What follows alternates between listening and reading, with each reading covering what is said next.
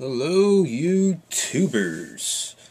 And today is a, uh, well, it is a recovery day, but it's also a sick day.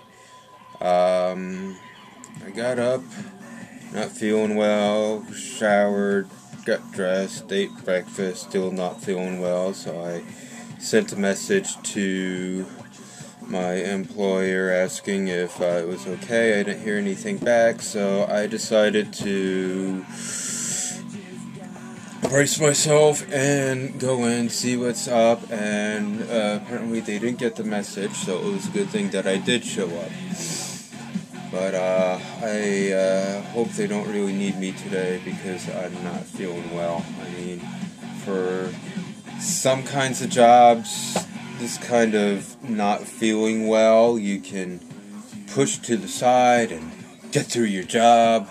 But for this kind of job, that's too much of a risk.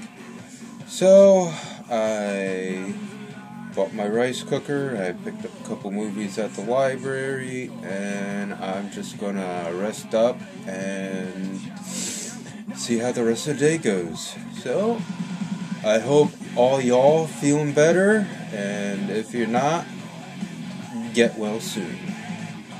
I'll talk to you later.